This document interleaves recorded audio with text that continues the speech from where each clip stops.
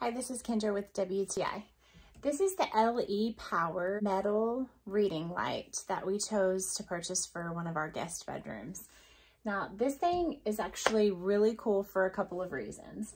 First of all, as you can see, it can be clipped onto anything. So we chose to clip it onto the headboard and it, but it's got a nice soft matting here so it won't scratch your headboard or whatever object that you're going to be clipping it onto. It can go anywhere. So that's pretty cool. Also, it's got several different lighting options. So you've got the warm light here on two different levels that you can use. So I really like that feature. And another cool thing is like say that you have it up here. Another cool feature is that you can literally move this arm however you want. So it moves really good.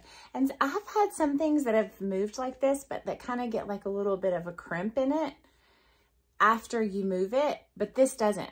As you can see, it's nice and smooth. There's not like any crimps after you've bent them. So I think that that's a really nice feature as well. So these things have come in really handy as just some extra reading lights that you can clip anywhere and we really like it. So that's our point of view.